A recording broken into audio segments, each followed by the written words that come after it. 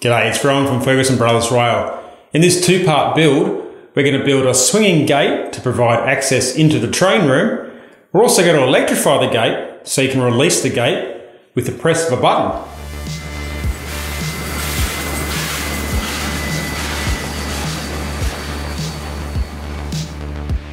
So here's the open doorway that we're walking through into the room. The layout's going to go around the outside of the room, so this gate needs to open here to provide access. Before we get started, let's jump into a 3D sketch and I'll explain how this thing's going to hang together. Height's the first important decision. Our benchwork is a shade over 1200 mils high, that's about 4 feet. This means easy access underneath the layout and it also means your eye level is more natural. It's easier to create an immersive experience if you're looking into the scene instead of peering down onto it. Step 1 is building the structure on each side. I'm using 90 by 35 mm structural pine for most of the project. The structure on the left is offset from the edge and I'll explain that soon. Once these are really solid and plumb, I can move on to step 2, which is building the gate itself. The gate is a 90 degree structure with reinforcing.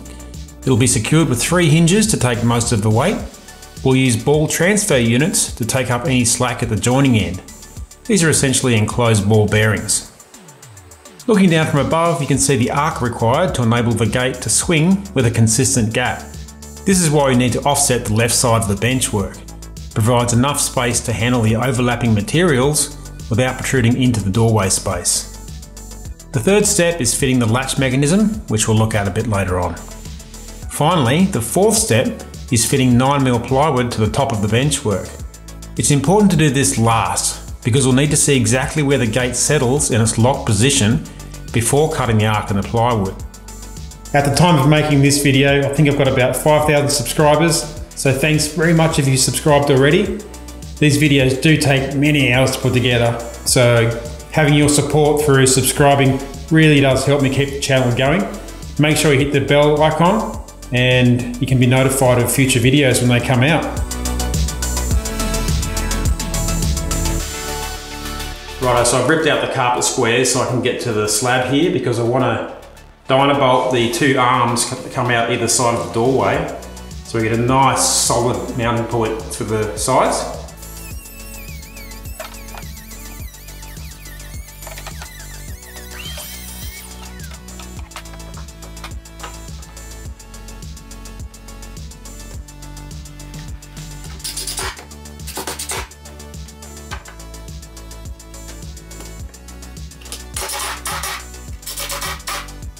I've used a piece of plastic underneath this pine just to make sure no moisture can get through.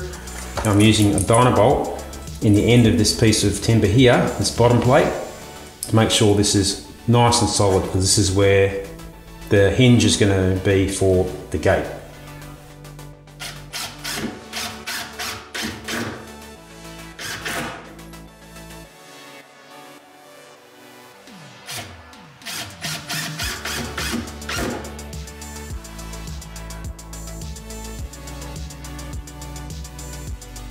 Righto, so I've added a little bit of um, extra structure in here just to get this vertical post nice and straight. Next thing to do is got the hinges in. We're going to put this first part of the gate against the hinges. Flush for the top, it's about five mil off the ground. So when the thing hinges, there's a little bit of clearance there. So we'll basically build the gate in situ so it's nice and plumb and exactly the same shape as the, as the surrounding frame.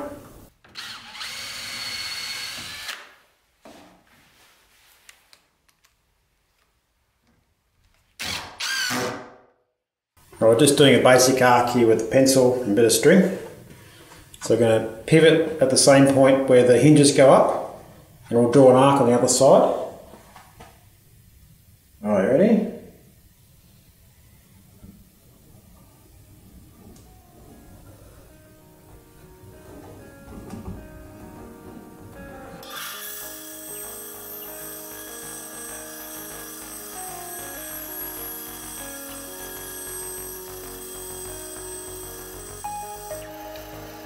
This stuff on the end here is just glued in at the moment, just so I can get it exactly right before screwing it. Now this piece in here is still a little bit too tight. just along the edge here, it's a little bit tight.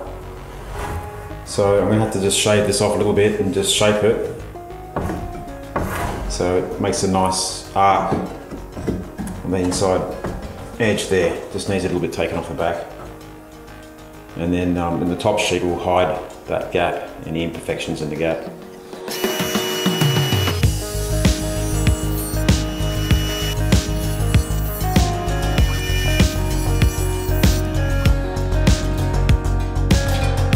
Now if we look just in here you can see the gate is coming close to closing all the way, nice and easily, but there's just probably about five mil that's got to go.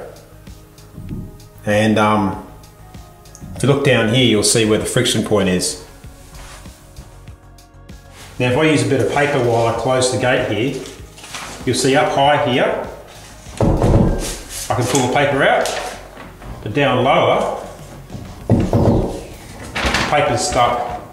So I know that somewhere in here I've got to take it down a little bit. I'll use a chisel and the sander there, get that nice and smooth. Okay, so after sanding, it's now closing nice and true with very little effort. I can actually use my pinky to pull that closed now. There's a little bit of energy stored in the hinges themselves, so when I release that, the gate pops open just a little bit. Right, well I've got the laser set up, I'm just installing my horizontal beam right around the entire room. Um, this forms the datum line, which is essentially an imaginary sea level line from which everything is measured either above or below. Um, so while the laser's set up, it's a nice opportunity just to get these in, and then I'll get back into the swinging gate. This will also give me a little bit of extra structure either side of the gate to make sure those, um, those posts that are supporting the gate aren't moving at all. I want them to be nice and solid. So if I open the gate, you can see what I've built here is uh, a bit of 50 mm angle line, which mounts to this board, and I've filed the edges just on this side so the ball, the ball transfer units can roll up onto it. It's got bolts underneath, so I can adjust the height to get it just right.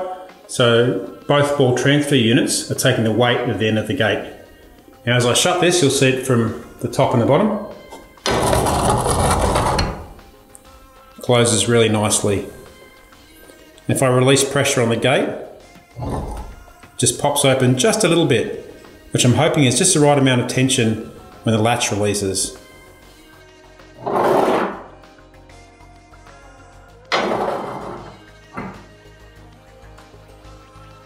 Step 3 is building the button activated latch.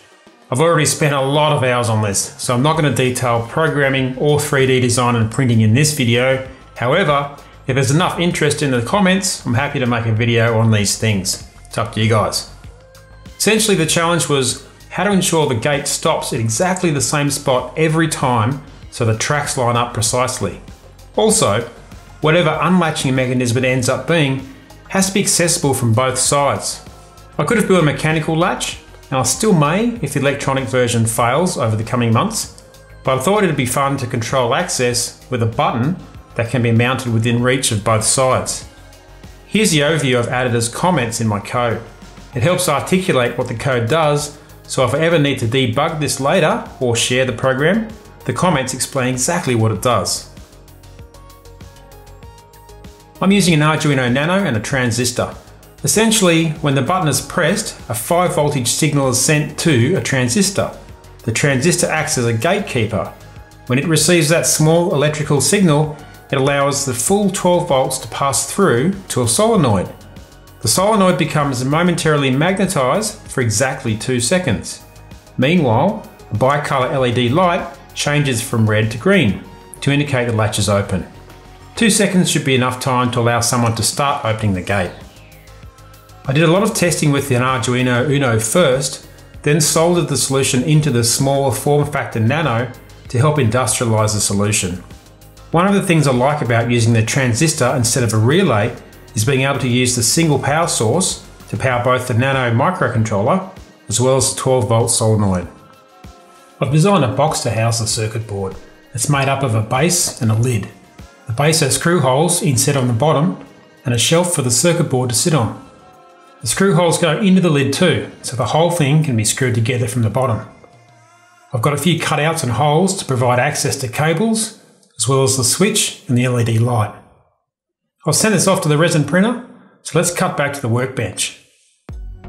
So this is what it looks like in real life. Got the base, little shelf there to set the board in. Board will slot in like that. There's a little bit of play so I can line up the screw holes. And then the lid goes on top like that. Uh, you can see I've got the hole for the LED, hole for the switch. And on the side here, bit of a, a slot just let some airflow in there and the hole cut out for the power and the lead heading out to the solenoid.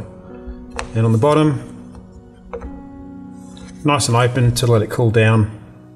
And I've got room there on the sides to put some double-sided tape if I need to stick it on the wall. So what we've got here is the nano sitting right in the middle, so there's plenty of space either side to put it to wire up the circuits. There's a, a positive rail going around the outside and a ground rail, so that makes it handy to particularly with the ground rails, you need, you'll need to tap into that several times for various things. So it's just a case of going into there, um, and then this goes out to the 12 volt power supply. That will be glued on the end here. So it faces outside the box as well as this cable which is heads out to the solenoid itself. Those are the only two things that need to face outside. And then the LED will poke up the top of the box as will the momentary switch.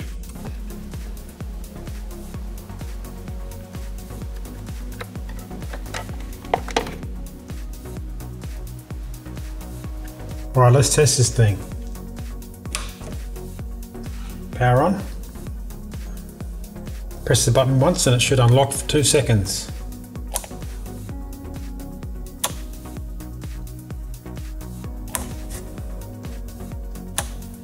Good, we're ready to go and install this on the layout.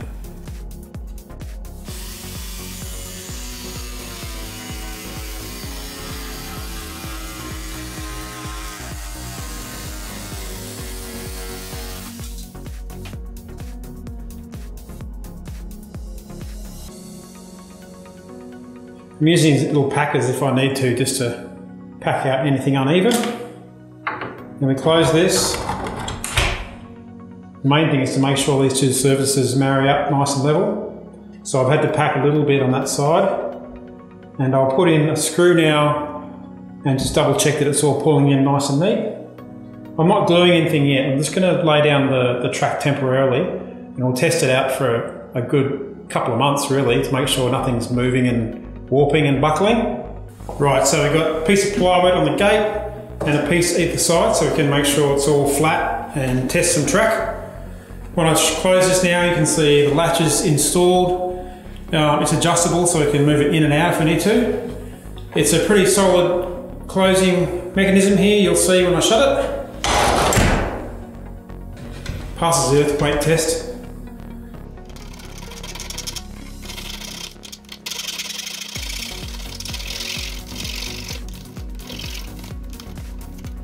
Righto Dad, let's test it.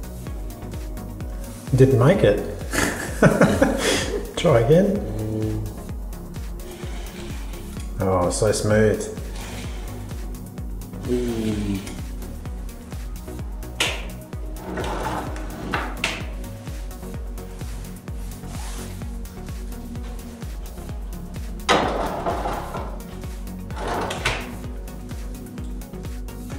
Well, overall, pretty happy how this project's wrapped up.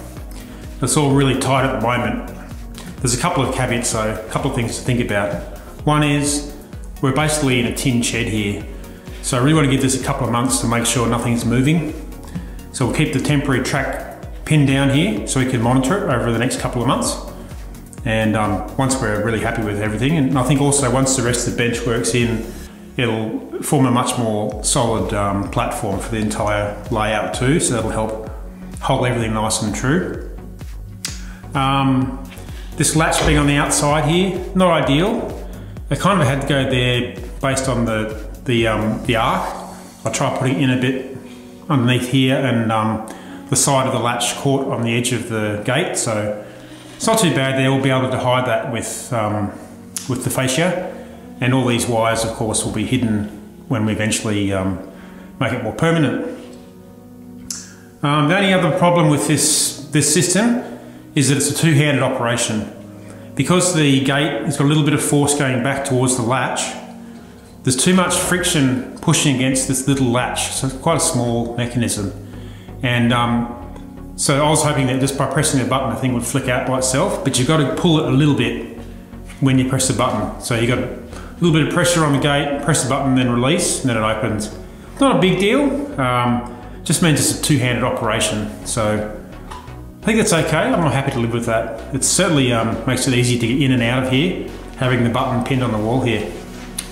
So um, yeah, thanks for watching and stay tuned for more progress on our bench work.